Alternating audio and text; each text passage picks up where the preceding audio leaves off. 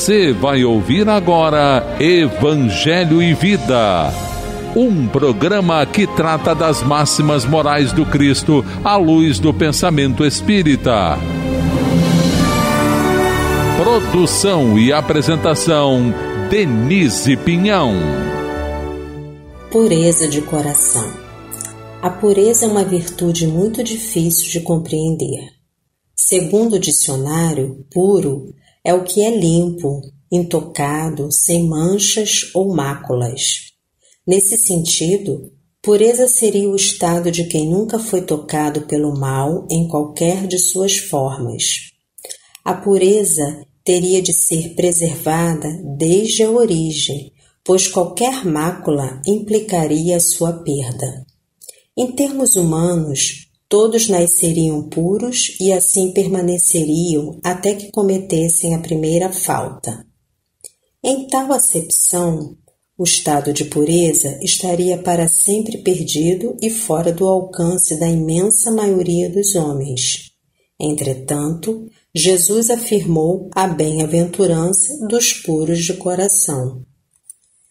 Não é possível que a felicidade dos bens-aventurados seja restrita a uma ínfima minoria, pois o Cristo também disse que nenhuma de suas ovelhas se perderia. Assim, o sentido da palavra pureza não pode se restringir à condição de alguém que nunca foi tocado pelo mal. O Espiritismo esclarece que todos os espíritos são criados por Deus simples e ignorantes. Gradualmente, à custa de suas experiências, eles desenvolvem os tesouros intelectuais e morais cujo princípio trazem no íntimo. São dotados de livre-arbítrio a fim de que optem pelos caminhos que lhes pareçam os melhores.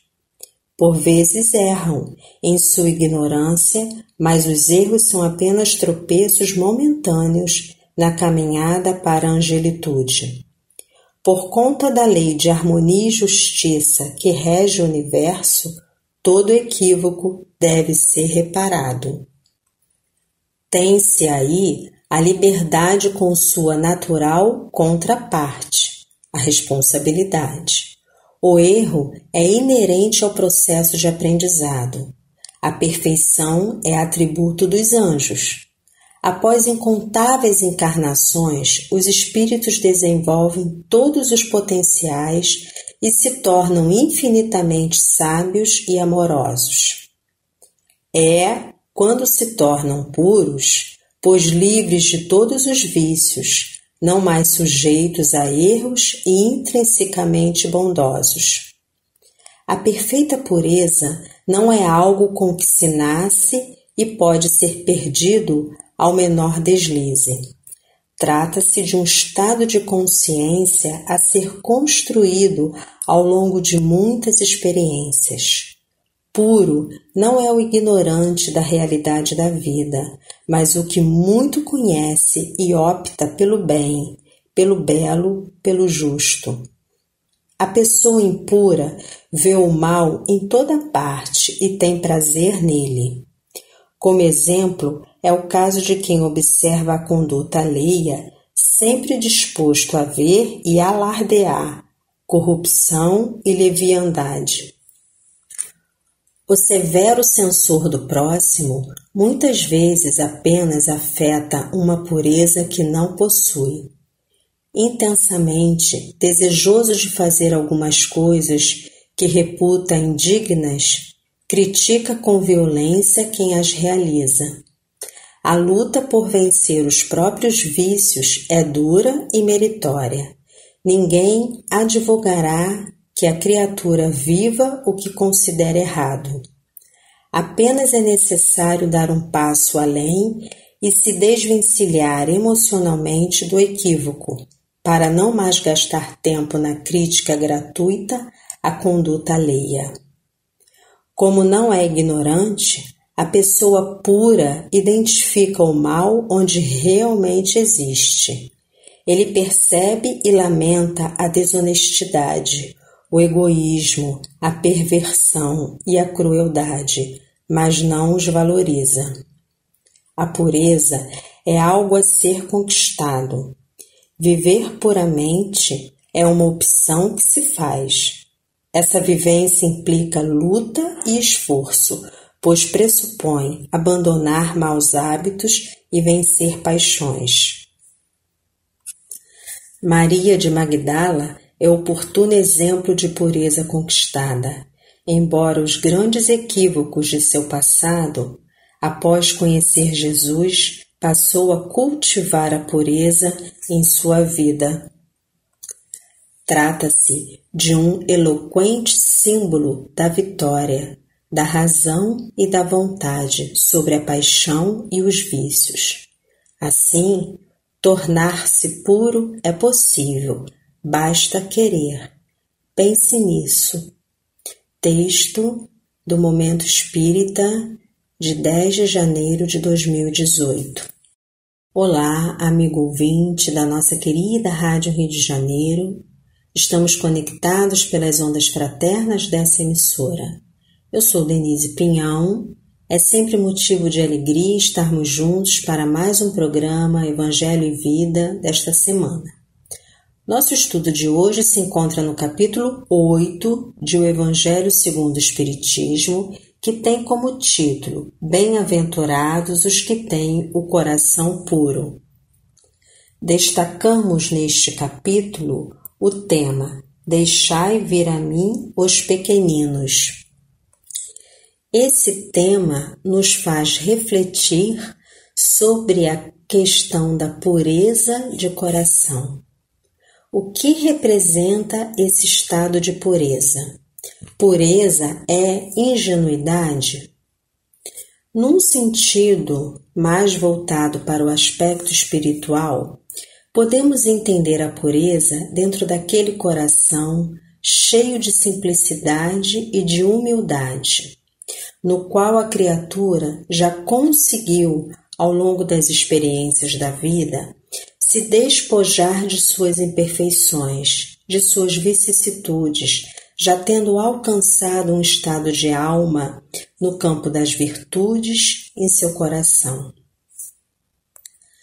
Na referência do nosso estudo de hoje, no capítulo 8, nesse tema Deixai vir a mim os pequeninos, que se encontram nos itens 1, 2, 3 e 4, temos as seguintes passagens. Bem-aventurados os que têm o coração puro, porque eles verão a Deus. Evangelho de Mateus, capítulo 5, versículo 8. Então, apresentaram-lhe algumas crianças para que ele as tocasse. E, como seus discípulos repelissem com palavras rudes aqueles que as apresentavam, Jesus ficou muito desgostoso e lhes disse: Deixai vir a mim os pequeninos, não os embaraceis, porque o reino dos céus é para aqueles que se assemelham a eles. Em verdade vos digo: todo aquele que não receber o reino de Deus como uma criança, não entrará nele, e abraçando-as e impondo-lhes as mãos, as abençoava. Evangelho de Marcos, capítulo 10, versículos de 13 a 16. No Evangelho de Mateus, essa bem-aventurança nos mostra, nos chama a atenção para os que têm o coração puro, como uma condição para que possam ver a Deus.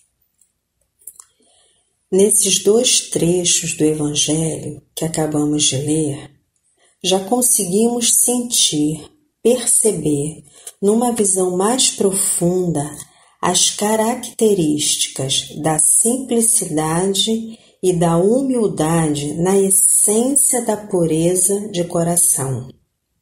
A entrada do reino de Deus é decorrente dessas duas virtudes da simplicidade e da humildade do espírito. Nos itens 3 e 4 do Evangelho, Allan Kardec nos diz: A pureza de coração é inseparável da simplicidade e da humildade.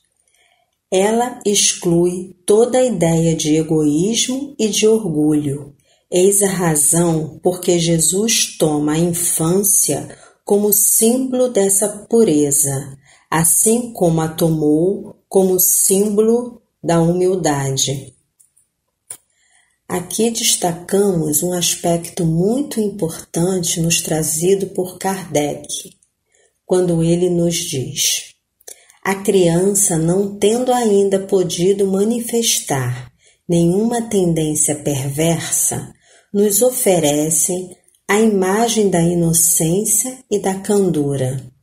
Jesus também não diz de maneira absoluta que o reino de Deus é para elas, mas sim para aqueles que a elas se assemelharem. E continua o codificador. Já que o espírito da criança viveu outras encarnações, por que não se mostra desde o nascimento como realmente é? Nas obras de Deus, tudo é sábio. A criança tem necessidade de cuidados delicados que somente a ternura maternal pode lhe dar. E essa ternura cresce diante da fragilidade e da ingenuidade da criança. Para a mãe, seu filho é sempre um anjo e é preciso que seja assim para cativar a sua solicitude. Ela não teria por ele a mesma abnegação se, em lugar da graça ingênua, tivesse encontrado em seu filho, sob os traços infantis, um caráter viril e as ideias de um adulto. E ainda menos se ela conhecesse seu passado. Vamos fazer uma pausa e comentar um pouquinho aqui, amigo ouvinte. Todos nós passamos pelo período da infância. É uma fase onde estamos mais sutis, mais receptíveis às influências da educação, do meio.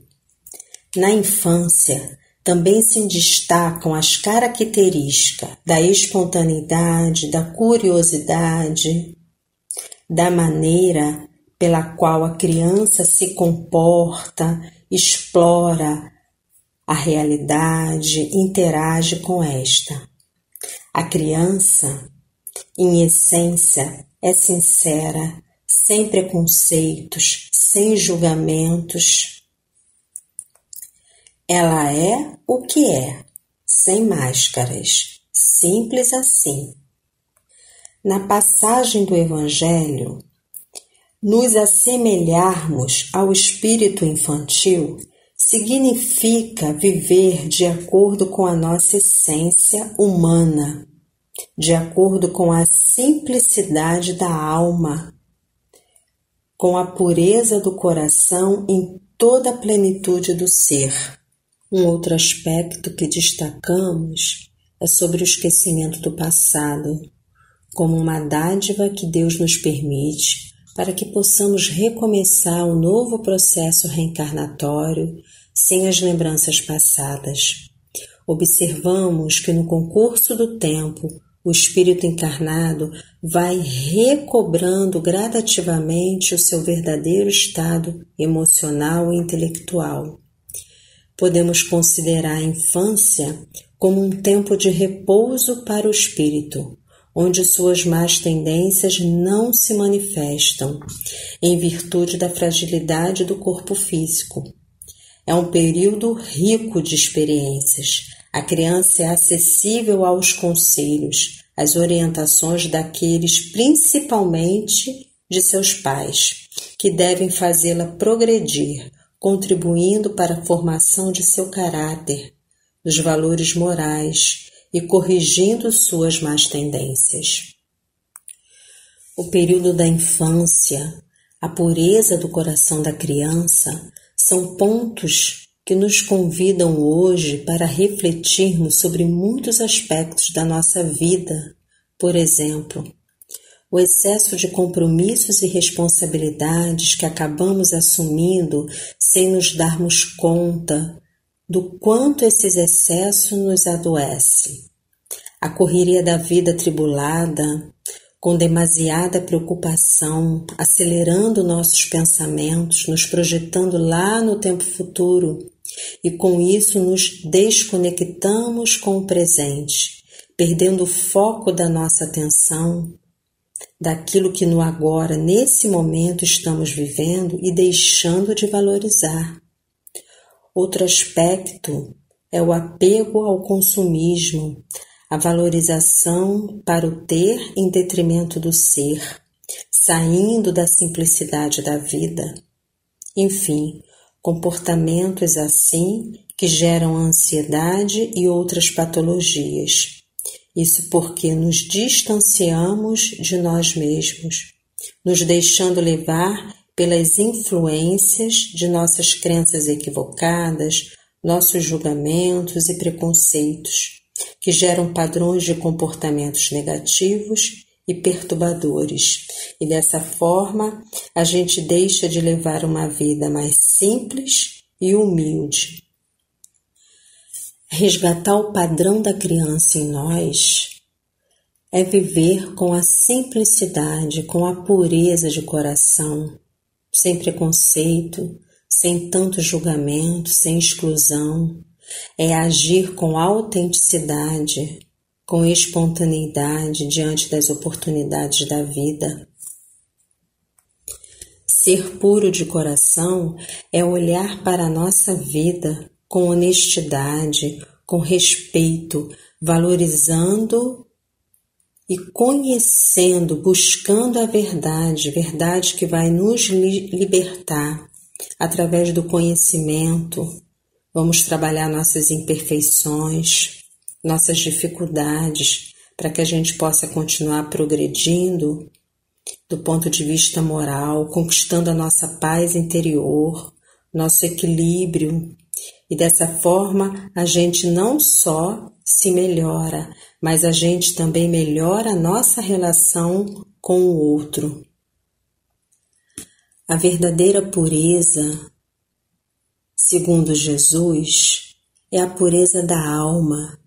São daqueles que sabem desculpar e perdoar as ofensas recebidas, daqueles que não desejam guardar as coisas só para si e sabem compartilhar o que têm, daqueles que confiam que nunca vão lhes faltar e por amor aos semelhantes, eles sabem doar doar afeto, doar alimento.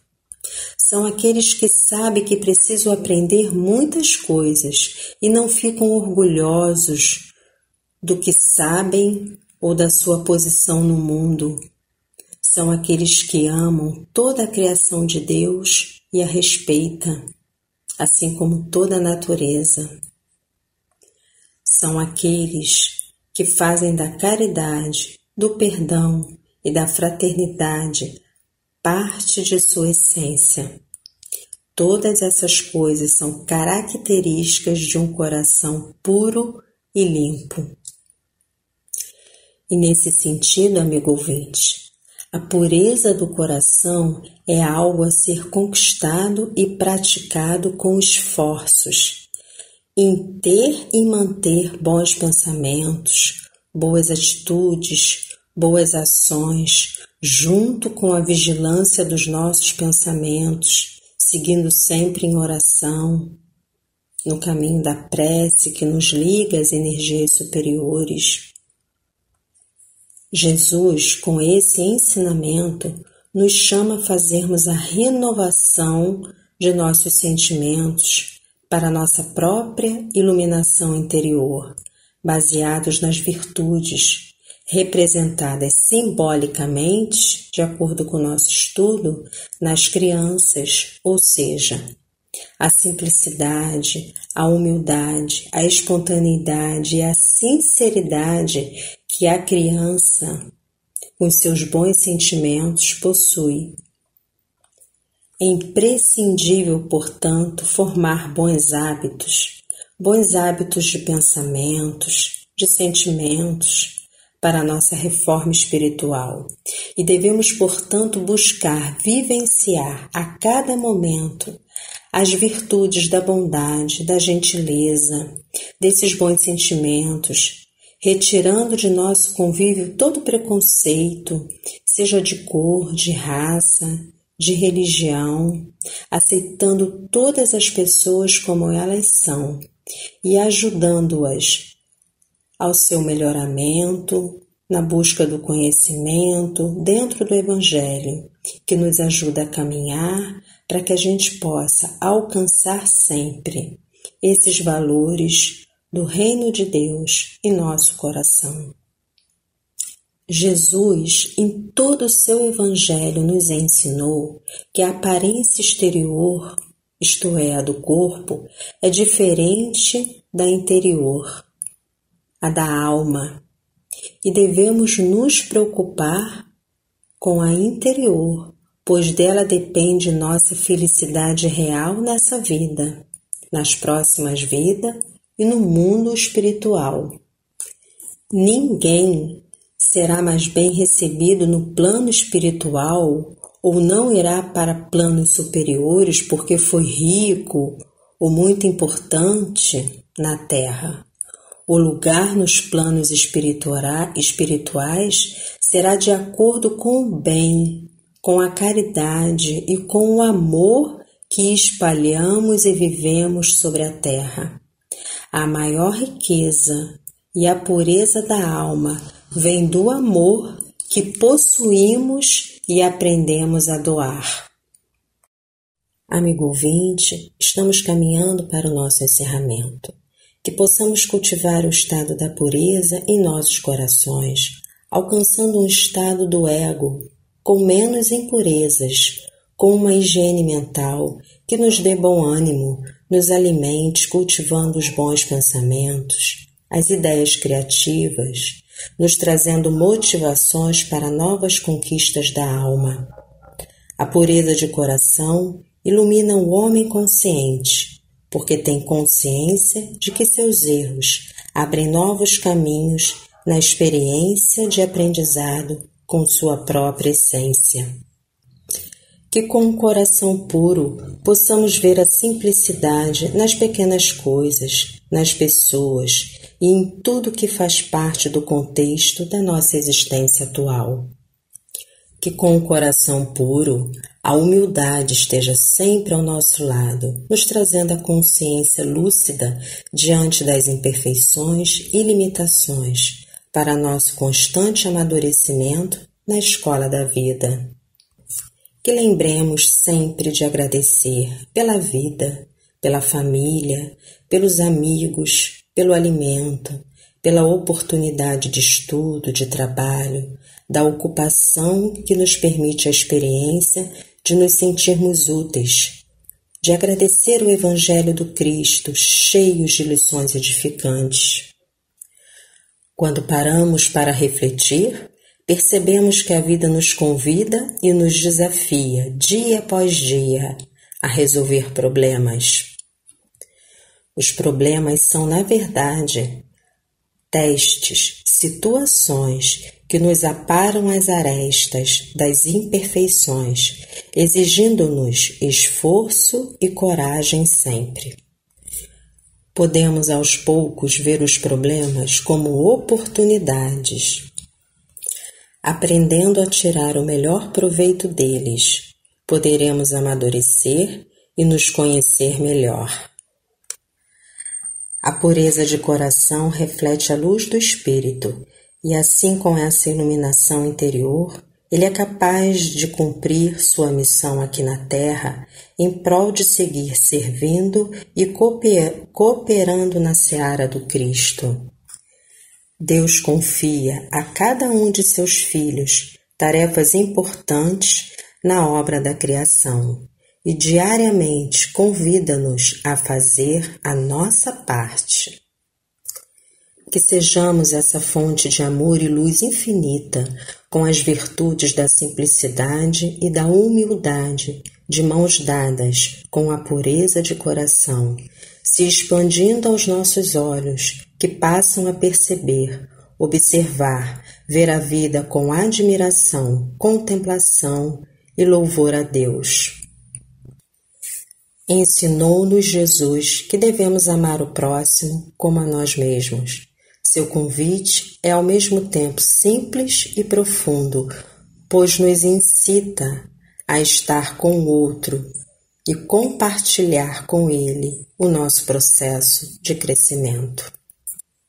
Meus irmãos, por toda parte o bem se manifesta, convidando-nos permanentemente a percebê-lo e desenvolvê-lo em nosso coração puro. Amigo ouvinte, gratidão por mais esta oportunidade. Desejamos saúde e paz. Fraterno abraço. Até o próximo encontro. A Rádio Rio de Janeiro apresentou o programa Evangelho e Vida.